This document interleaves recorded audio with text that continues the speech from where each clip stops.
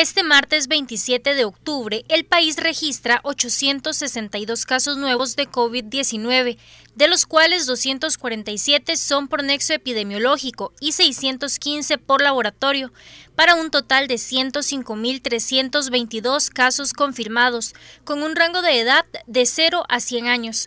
Se trata de 50.777 mujeres y 54.546 hombres, de los cuales 88.485 son costarricenses y 16.837 son extranjeros. Por edad son 89.314 adultos, 7.223 adultos mayores y 8.694 menores de edad.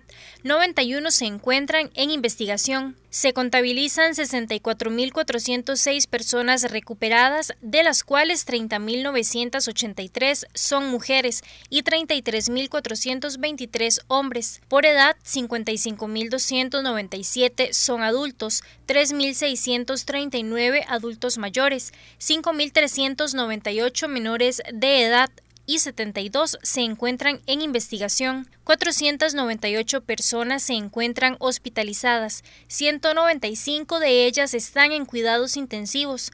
Estas van con un rango de edad de 1 a los 93 años. Hoy se reportan 17 lamentables fallecimientos, 7 hombres y 10 mujeres, con un rango de edad de 47 a 90 años. En total se contabilizan 1.329 decesos relacionados con el virus.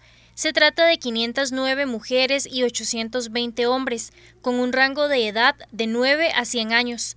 Por edad son 443 adultos, 884 adultos mayores y dos menores de edad.